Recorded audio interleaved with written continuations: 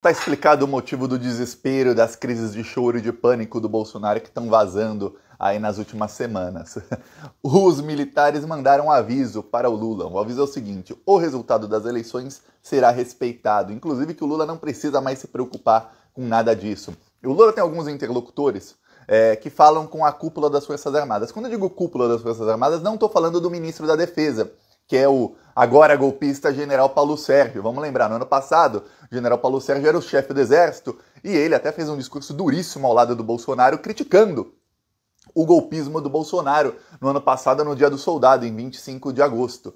Agora, como ministro da Defesa, se tornou bem golpista. O Paulo Sérgio ele é um daqueles que está pressionando o Tribunal Superior Eleitoral, né, o TSE, e ele, ao lado do Braga Neto, são assim a tropa, parte da tropa de choque golpista do Bolsonaro.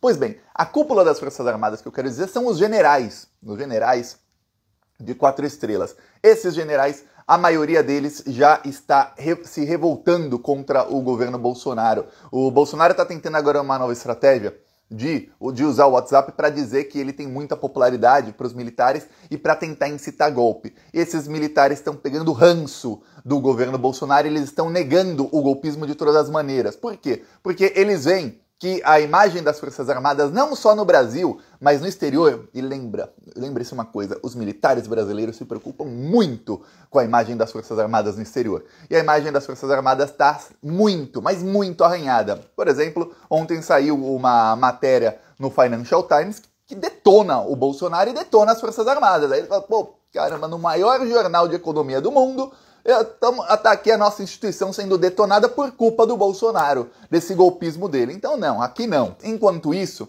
quem quiser comenta que aí eu faço um vídeo só sobre isso, para fazer, eu vou ter que pesquisar mais.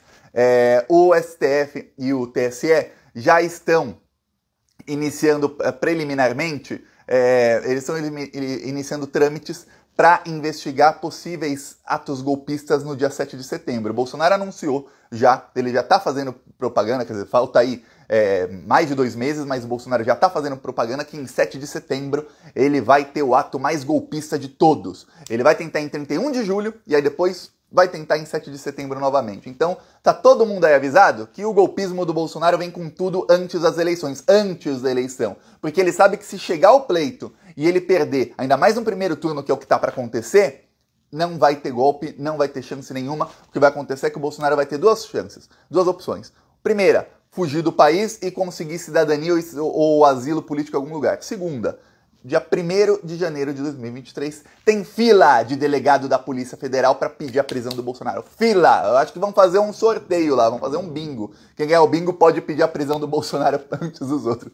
E olha, eu vou falar, não, não são nem dois, são vários querendo já, com processos já, com investigações já abertas e algumas investigações que a gente ainda nem sabe. Então agora é esperar os próximos passos. Eu peço que você se inscreva no canal. Vamos para cima dessa corda. Esse pesadelo tá acabando.